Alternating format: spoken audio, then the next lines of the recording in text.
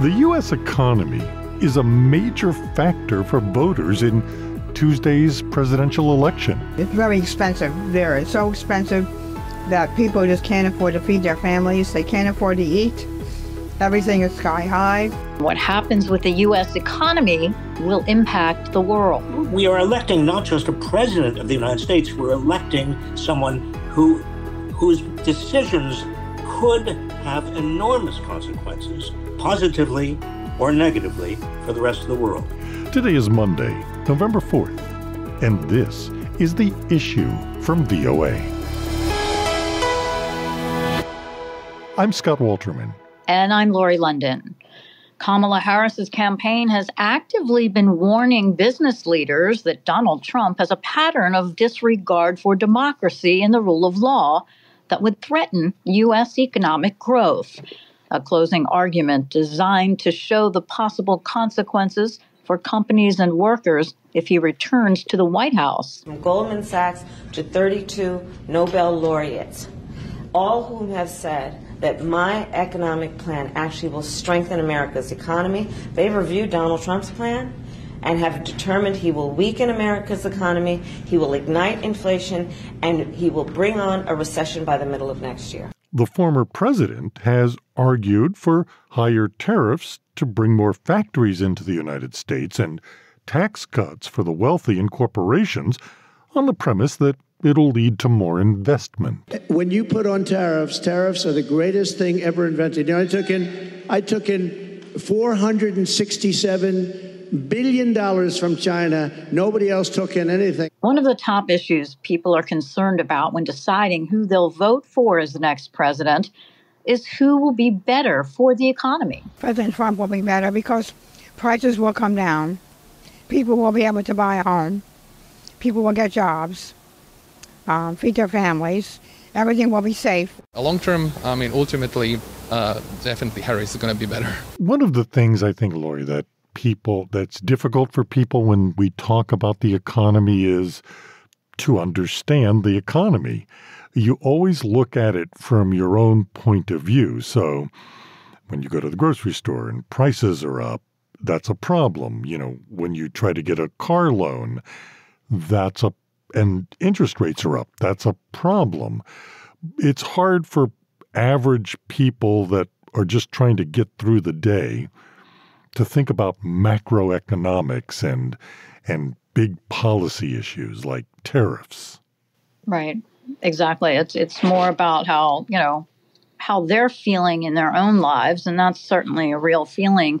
I think people what they don't probably think about too much is how much of an impact whatever happens here does not stay here, that it has big implications for the rest of the world, which is why, in part, why the rest of the world is so focused on watching what will happen here with the presidential election.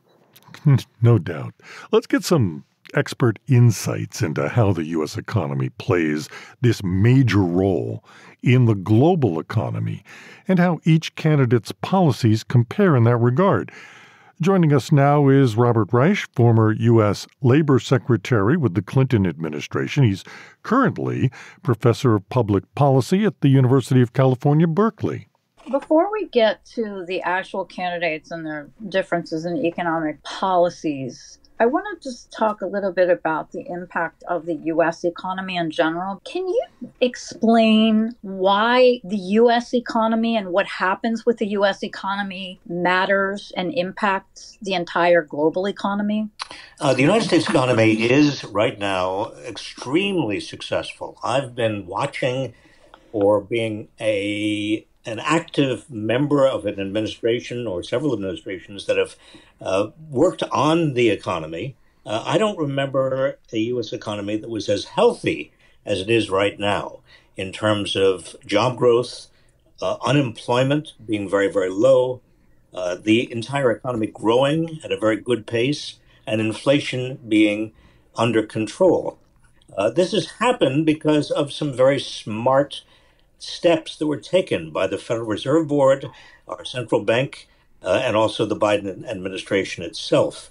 Uh, it affects the rest of the world very profoundly because if the United States economy is in good shape, uh, it affects positively economies that are trading with the United States, economies that are dependent on the United States, economies that are in interrelated, integrated in some way through with the United States.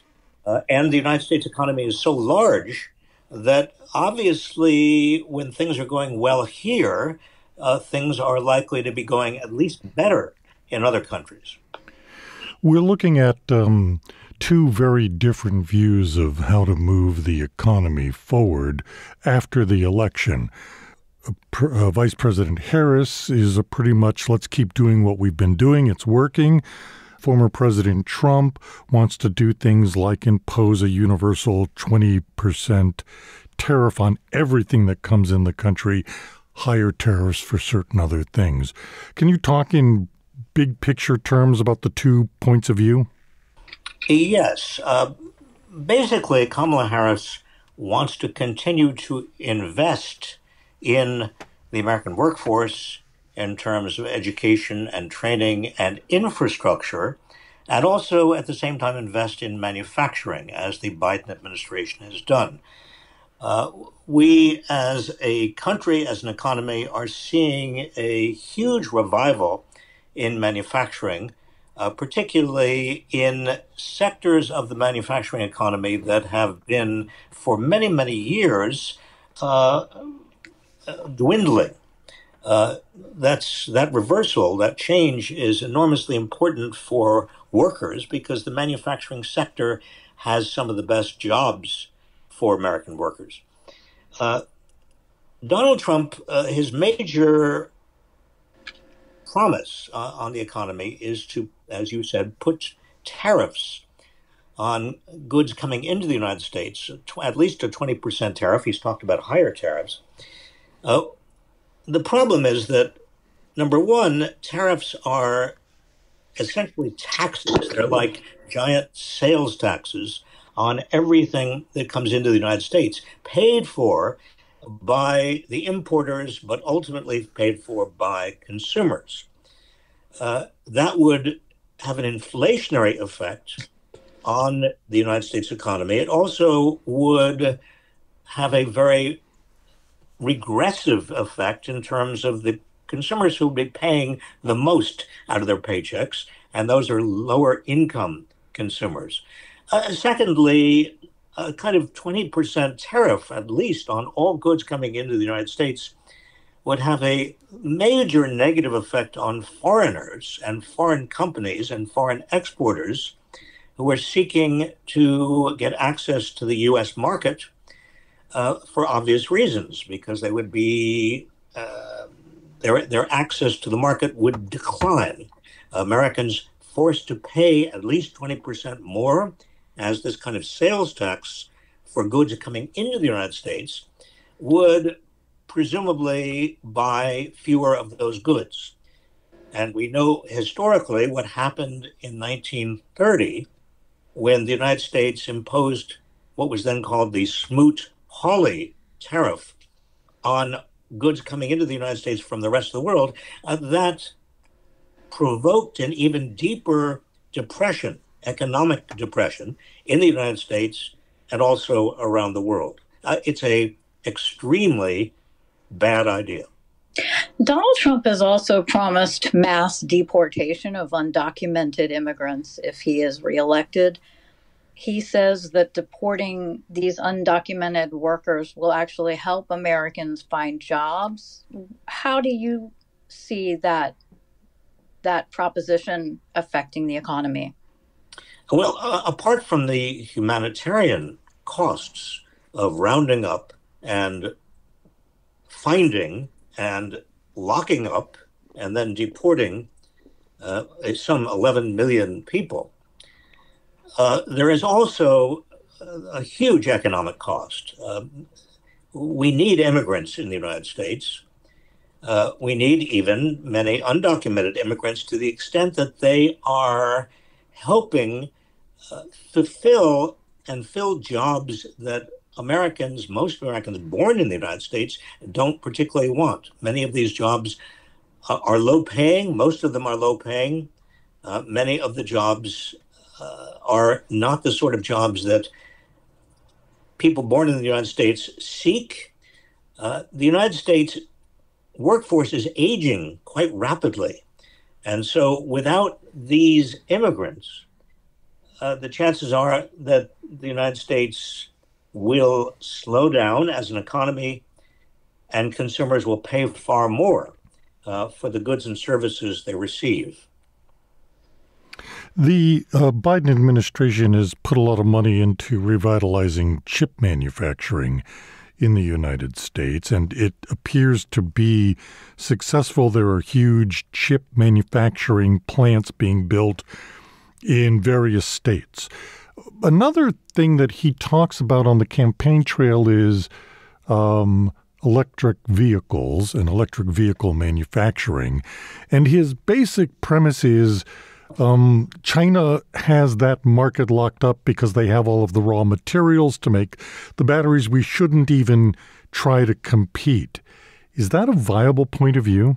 Uh, my understanding is that the Biden administration uh, does want to compete uh, with China uh, in terms of semiconductors and other uh, technologies that are linked to national security.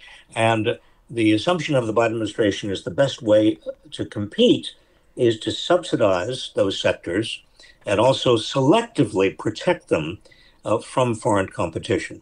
Uh, this is uh, it's very sensible. If there are national security implications and an administration wants to build up a particular industry like semiconductors uh, or even batteries, under the Inflation Reduction Act, the Biden administration has moved quite readily into what are called renewable or green energy sectors.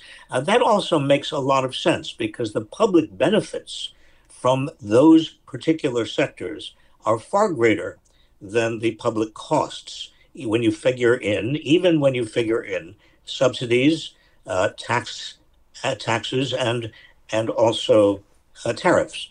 Uh, so uh, this package of investments that the Biden administration has championed uh, are important and are beginning to pay off. You know, whether you talk to voters or you look at the polls, the economy is definitely one major concern for voters. And yet, even with all these great economic reports, there are still a lot of voters out there that are not convinced that it's great, or, or maybe they're not feeling it. What do you say to that? Well, you can't tell people, voters, that they are feeling something they're not feeling. You can't tell them they are better off than they feel that they are, uh, their subjective feelings are the most important. Uh, but there is a lag time between when the economy is doing well in terms of low unemployment and higher real wages and jobs, and when people actually feel it. I think that many Americans, unfortunately, still feel the effects of double digit inflation and beyond that, there is the reality that many large American corporations still have significant monopoly power to keep prices higher than they should be if those co- companies were subjected to more competition, which is why the antitrust agencies of the federal government under Joe Biden, and I'm talking specifically about the Federal Trade Commission and Lina Khan as chair, and the Antitrust Division of the Justice Department and Jonathan Kanter as the Assistant Attorney General in charge of antitrust are both very important to the overall Biden economic policy. Well, they are feeling it. You're absolutely right. If you go to the grocery store, you can see the prices are higher than they used to be, and it's it's tough to get by if you're, you know, in a median income household.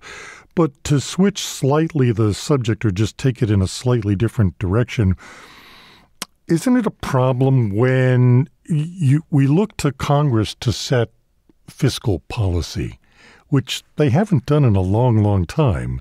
And so it falls to an agency like the central bank who has to pick up that slack. And, um, you, you know, when you have zero dollar money, you ultimately wind up with inflation, right? Uh, well, remember, the Fed has done an extraordinary job, along with the Biden administration, in bringing inflation down from double digits just two years ago to 2.1% as we speak. Uh, there is almost no inflation at all. The goal of the Federal Reserve Board was to get inflation down to 2%. Well, 2.1% is pretty damn good. Um, fiscal policy is not now a major force in the American economy, except that, and I want to emphasize this the Infrastructure Act uh, and Biden's what was called the Inflation Reduction Act, but which, which was really focused on green technologies moving from fossil fuels to non fossil fuel energies, and also the efforts to improve and fortify chip making, that is, semiconductors in the United States, those three together are major fiscal boosts to the economy. But they're a particular kind of fiscal policy. That is, they're not necessarily spending per se, they are investments that are designed to build the productive capacity of the economy in the future.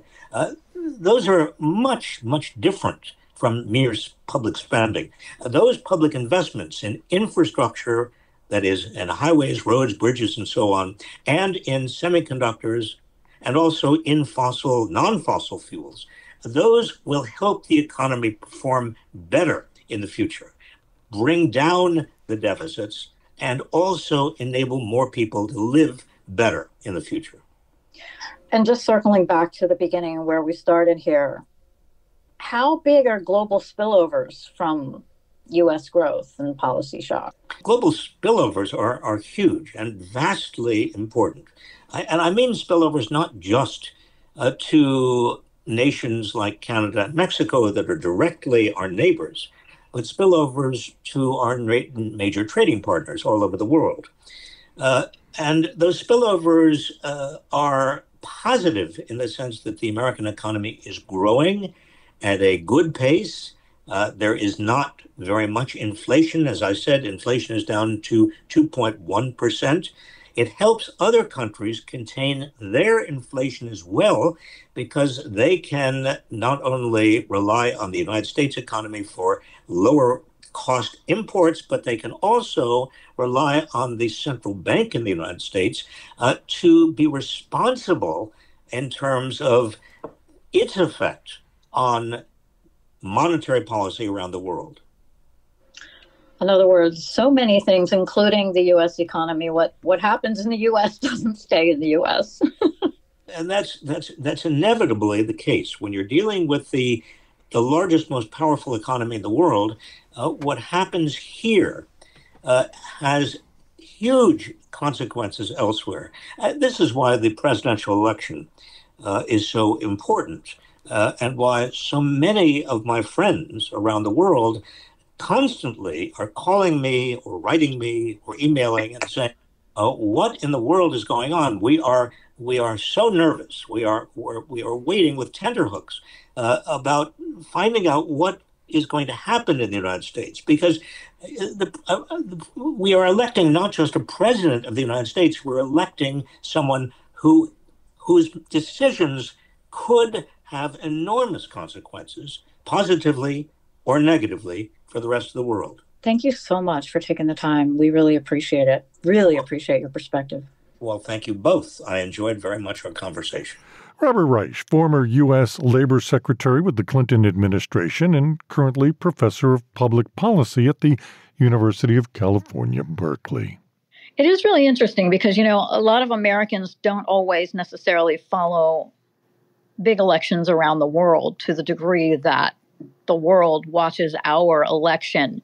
And the the implications, as he was talking about, are just so incredibly huge that it, it's it's not limited to this country even slightly. It is one of the big truths of American society and particularly American political society, Lori. You're you're not wrong. It, we are a very inward looking population. You have been listening to The Issue from the Voice of America. On behalf of everyone here at VOA, thanks so much for spending your time with us. You can follow The Issue on X and Facebook at VOA The Issue, and for news 24 7 on our website at voanews.com. In Washington, I'm Scott Walterman. And I'm Lori London. We'll see you tomorrow.